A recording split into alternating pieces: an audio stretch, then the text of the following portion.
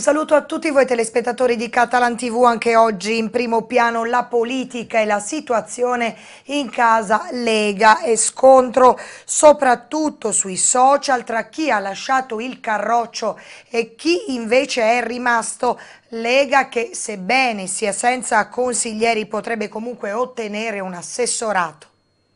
Volano gli stracci, è proprio il caso di dirlo nella Lega. Da una parte Monica Polina e Giovanni Monti, dall'altra i vertici locali del partito. E nella politica 2.0, come accade spesso, lo scontro si consuma sui social. Il documento firmato dai due ormai ex leghisti ha sollevato un polverone che coinvolge un po' tutti, non solo il coordinatore locale Luca Sacristani, ma anche il presidente del Consiglio regionale Michele Pais, reo di non essere intervenuto in questa delicata situazione. Per ora nessun documento ufficiale da parte del coordinamento locale, solo alcuni commenti al vetriolo e soprattutto l'invito ai tre ex leghisti di dimettersi da consiglieri. Siete stati eletti per la Lega portando avanti idee e progetti, perché non andare via prima di essere eletti? Fate più bella figura di mettervi, ha detto ad esempio Gianni Pais, candidato alle ultime comunali, uno dei militanti algheresi più attivi del partito di Salvini. Giovanni Monti invece in una lunga nota ha svelato ulteriori retroscena sul suo addio alla Lega. La mia coerenza politica è stata messa a dura prova fin da subito. Il giorno successivo alla mia elezione sono stato affrontato in modo quantomeno discutibile. La mia libertà, dignità e soprattutto identità personale è stata gravemente lesa da un signore le cui cariche politiche mi sono ancora ignote. Anziché congratularsi per il mio successo personale e iniziare un percorso politico democratico, mantenendo ognuno il proprio ruolo, si è rivolto a me dichiarando testualmente da oggi tu farai quello che ti dico io. Con tali premesse promesse, mi è stato subito chiaro che le mie libertà di azione erano nulle, ha scritto Monti.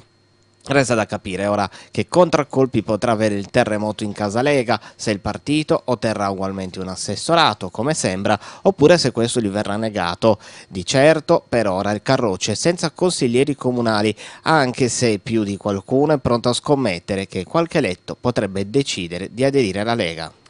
C'è attesa di conoscere i nomi degli assessori anche nell'agro per una serie di questioni rimaste in sospeso o irrisolte. Sentiamo la Presidente del Comitato Zonale Nurra, Tiziana Lai. Nei giorni scorsi come Comitato Zanale Nura avete lanciato un appello, oltre a aver fatto gli auguri al nuovo sindaco e al nuovo consiglio comunale, però avete lanciato soprattutto un appello insomma, di ricordarsi di un territorio importante come quello vostro. Come abbiamo detto per, uh, durante la campagna elettorale abbiamo portato all'attenzione tutti i problemi dell'area della bonifica. Dobbiamo sempre ricordare a tutti che Alghero non finisce al ponte di Fertiglia, ti ricordi come avevamo già detto e abbiamo detto e ribadito che l'area della bonifica deve essere eh, sviluppo, promotore di sviluppo economico di, di Alghero, perché noi siamo il territorio di Alghero. Ecco, quali sono i problemi che più avete segnalato e quali attendete, per i quali attendete risposte? Allora, oltre a ribadire sempre le solite cose, no? quindi pulizia dei canali, strade, borgate e via dicendo, quello che però a noi preme è continuare con i progetti già fatti, quindi mandare avanti i progetti di mondo rurale che sono stati fatti con l'altra amministrazione a cui noi teniamo molto visto che è un contenitore che abbiamo creato noi. Da quel contenitore nascono i progetti di filiere che abbiamo, ripeto, cre creato con i cittadini del territorio con le aziende, ma soprattutto da lì possono nascere tante altre cose, perché la collaborazione col Parco di Porto Conte secondo noi è eh, motivo di sviluppo economico, questo per noi è fondamentale fondamentale. Avete avuto modo già di parlare col nuovo sindaco? Ne abbiamo avuto modo di parlare sia con, con Mario, a cui ribadiamo gli auguri e eh, l'inbocca al lupo, a tutta eh, l'amministrazione nuova, anche all'opposizione naturalmente, che speriamo stia con noi per un'opposizione costruttiva, per portare appunto avanti i progetti stessi che loro hanno portato, eh, portato avanti insieme a noi. Eh, abbiamo ribadito sempre le solite, le solite cose, c'è grande disponibilità sia dalla maggioranza ma anche dall'opposizione disposizione perché ho fatto una chiacchierata con Ornella che ringrazio per la disponibilità per mandare avanti i progetti. Incontro con il sindaco Mario Conoci ieri sera a Palazzo Civico con Gerard Martì Figueras, segretario generale dello sport della Generalitat de Catalunya con Luca Bellizzi, delegato in Italia della Generalitat, e Gustavo Navarro, delegato per Alghero. Al centro diversi temi e progetti comuni per lo sviluppo culturale ed economico tra amministrazione e Generalitat. Primi discorsi ufficiali in algherese del sindaco di Alghero. Abbiamo programmato attività congiunte tra le due realtà, spiega, oltre che iniziative che coinvolgono le società sportive e altri progetti di tipo economico molto importanti che necessitano necessitano di organizzazioni particolari che approfondiremo a breve. I rapporti con la Generalitat e con la Catalogna in generale proseguono, ha aggiunto Conoci. L'incontro di ieri con il segretario dello sport è stato molto proficuo ai fini della definizione di appuntamenti di livello internazionale. I rapporti con la Catalogna proseguono e si intensificano sia dal punto di vista culturale, linguistico ma soprattutto economico. A breve sono previsti altri appuntamenti con istituzioni catalane per portare avanti i progetti discussi ieri a Palazzo Civico e si intensificano i controlli sul territorio alla fine di verificare il rispetto delle prescrizioni su modalità di deposito dei rifiuti. Sul campo gli agenti della polizia locale e gli uomini della compagnia barracellare, controlli effettuati con l'ausilio delle telecamere nei punti critici della città, nell'agro e nelle periferie, prevenzione che si accompagna al rigoroso rispetto delle regole, interventi che nell'approssimarsi della piena stagione stanno portando risultati importanti per garantire decoro e pulizia. In arrivo sanzioni pesanti pesanti per i trasgressori che nei giorni scorsi scaricavano rifiuti incuranti delle regole del senso civico. Il servizio di monitoraggio delle isole ecologiche nel lago è entrato in funzione in tutti i siti affinché coloro i quali trasgrediscono le norme sul conferimento dei rifiuti vengano identificati e sanzionati. Le foto e i filmati a cura della compagnia baracellare che ritraggono e ritrarranno i trasgressori nell'atto di compiere atti illeciti ne consentiranno l'identificazione.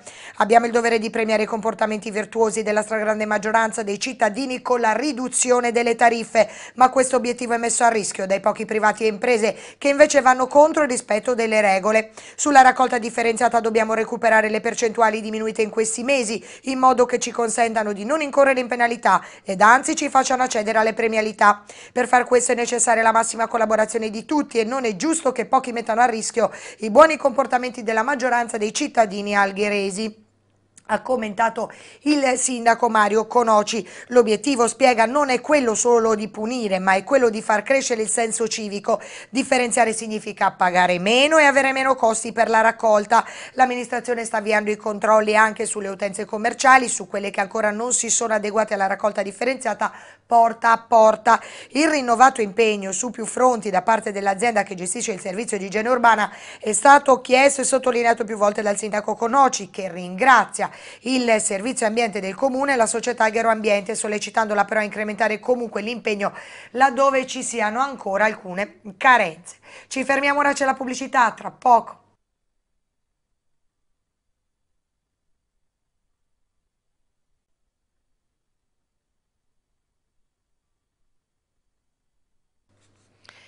Il comune di Alghero procede alla selezione per conferire l'incarico di comandante categoria D1 del comparto regioni ed autonomie locali di alta specializzazione nel campo della gestione di funzioni di polizia locale. L'incarico sarà conferito dal sindaco di Alghero a conclusione della procedura selettiva. Il possesso di comprovata esperienza professionale specifica, professionalità nelle materie oggetto dell'incarico è desunto dai curricula presentati e dagli eventuali colloqui dai quali emergano conoscenza approfondita della disciplina di funzionamento delle amministrazioni pubbliche della normativa collegata, conoscenze tecnico-specialistiche nelle tematiche, nelle attività e nelle linee di intervento che afferiscono alle funzioni descritte sopra, esperienza di lavoro in posizioni almeno direttive nelle specifiche materie che sono oggetto appunto dell'incarico con particolare riguardo nelle specifiche materie per l'esperienza maturata nella direzione e nella gestione di funzioni di polizia locale, conoscenze in materia di salute e sicurezza nei luoghi di lavoro.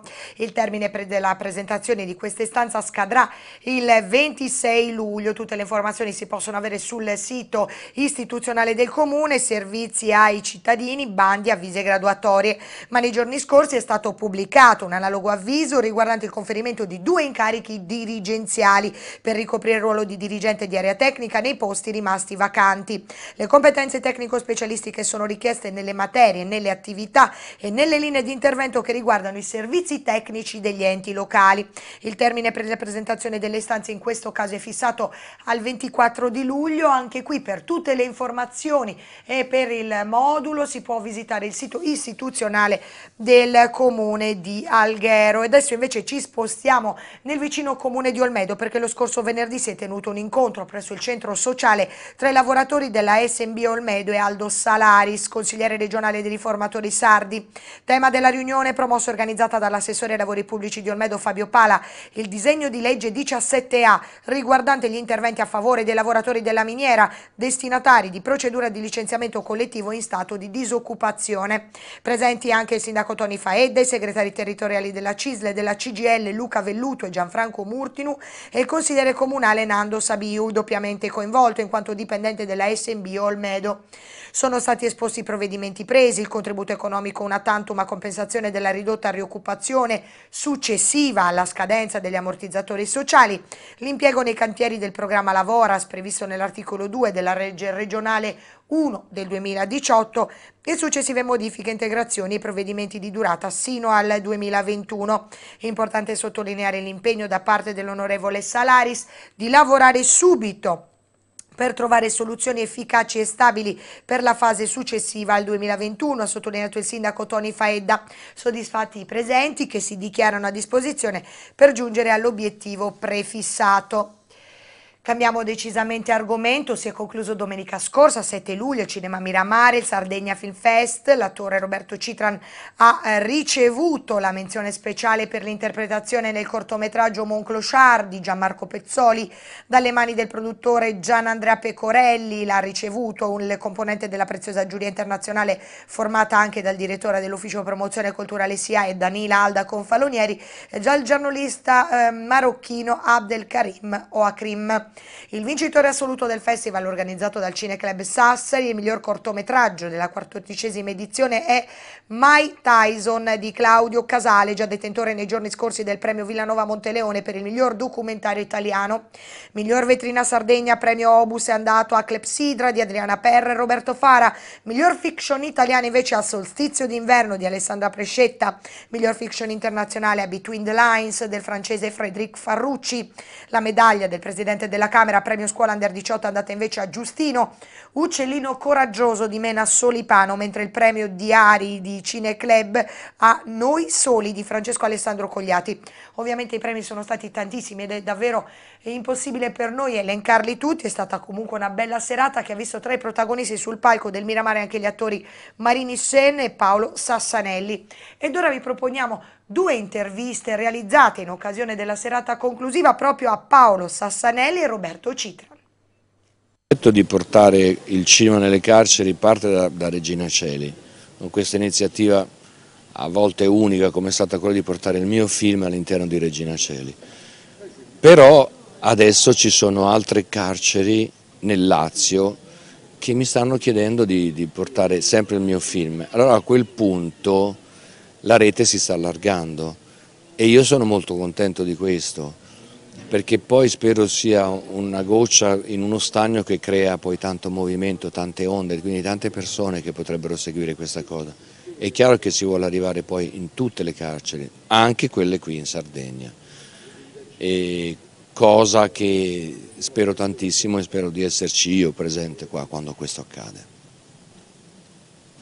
Per me è stata un'esperienza, come spesso mi accade, quando lavoro con esordienti, di, di, di, dove cresco anch'io poi alla fine, perché, perché così, perché devi affrontare un, un, modo magari molto ingenuo ma anche fresco di lavorare.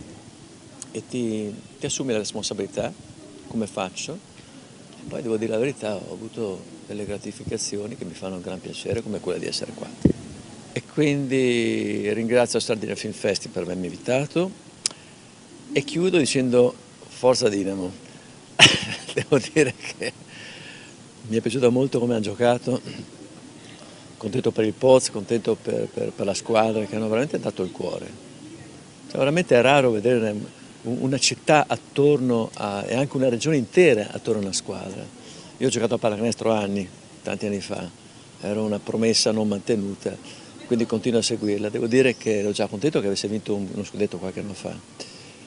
E sto giro vedevo che la Rai era più forte, però un po' ci ho sperato, insomma, comunque forza Dinamo. E quindi la Dinamo porta proprio a sentimento anche gli attori del cinema italiano che non sono assolutamente sardi, bene così e ci lasciamo, c'è l'ultima pausa per la pubblicità, poi torniamo.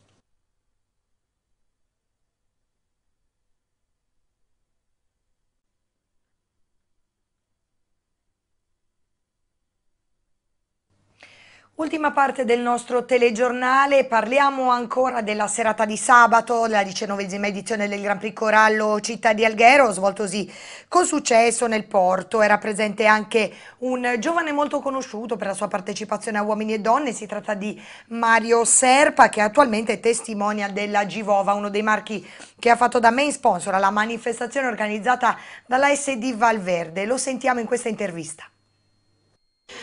Qui a Gran Prix Corallo Città di Alghero c'è anche Mario Serpa, conosciuto per la tua partecipazione a Uomini e Donne, ma qui però al Gran Prix sei come testimone della Givova che è main sponsor poi oltretutto di questa bella manifestazione. Perché hai deciso di fare il testimonial della Givova?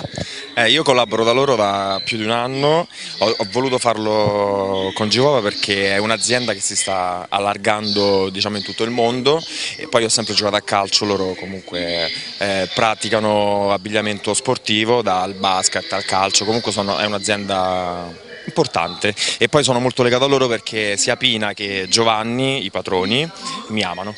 Ah beh certo, loro ti amano, tu li ami, però colleghiamoci a questa cosa, quindi testimonial di questa Givova, di questa marca Givova, i giovani ti seguono tantissimo, forse anche per quello che questa marca ti ha cercato, tu hai tantissimi followers come si dice. Sì, ho un po' di follower, un po' di follower, ma grazie al programma che ho fatto...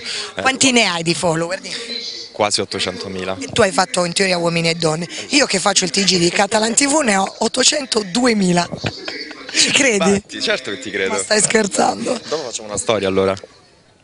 Anche due, grazie. Eh. Grazie a voi. Ognuno ha i suoi follower e quindi anche noi, ma parliamo di rugby giovanile, è, stata, è un'estate piena di attività per i giovani atleti dell'Alghero Rugby, dopo una lunga e faticosa stagione ricca di gare e test per gli impegni nei vari campionati, le under della società ovale algherese non riescono davvero a star ferme, sotto l'esperta guida del direttore tecnico Roberto Palomba stanno già lavorando per farsi trovare pronte in vista della nuova stagione. Si potrebbe definire una pre-preparazione, un lavoro fisico che ha lo scopo di far arrivare al meglio questi questi talentuosi giovani ai nastri di partenza della nuova stagione 2019-2020. Ad iniziare sono stati i più grandi, ossia le categorie Under 14 secondo anno, Under 16 e Under 18, che stanno facendo seduta in palestra tre volte la settimana, seguiti da Usman Fall, già giocatore dell'Amatori Rugby Alghero. L'attività in palestra si alterna con quella sul campo e dalla scorsa settimana anche sulla spiaggia, dove si allenano anche le categorie Under 10, 12 e 14 primo anno seguite sempre da Roberto Palomba che qui si avvale anche della collaborazione di Guglielmo Del Rio e Lorenzo Bombagi, entrambi giocatori algheresi in forza alla prima squadra. Inoltre prevista l'attività sportiva anche all'interno della manifestazione Summer Beach che inizierà a breve. È importante che i ragazzi si preparino al meglio per le fatiche della stagione. Una buona alimentazione una costante preparazione atletica unita al divertimento dello stare insieme e farlo in un luogo come la spiaggia di Alghero può solo che giovare a fisico e mente ha spiegato proprio il direttore tecnico Roberto Palomba. Un'estate di attività fatta bene significa disputare un campionato ai giusti livelli di preparazione fisica che molto spesso preserva da infortuni e affaticamenti. E il rugby giovanile chiude l'edizione di oggi del nostro telegiornale, vi lascio al meteo, vi ringrazio per averci seguito, arrivederci.